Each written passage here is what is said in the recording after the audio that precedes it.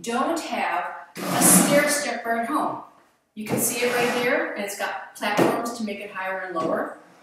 Well, all you need, if you have one, is a regular, good old kind of garage plastic step stool, something you might use in your kitchen to reach a cupboard. It works just as well. Just make sure it's pretty stable. It can slide. You might want to put it on a rug. So you can use it instead. How? Stand on top. Keep your weight in the middle of the step. Here's just one example. One foot down, genie arms. It adds a lot of intensity by having about an 8 to 12 inch height. There you go. Switch or on this side, you can stand like this, one foot on the step, lunge down and up, down and up.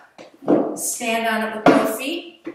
Here you go, lunges on the stair stepper instead on your garage stool. Here you go, down and up, down, tall, down, tall, what you want to be careful is, is that you keep your weight on the step so it doesn't slide if you're on the floor like this.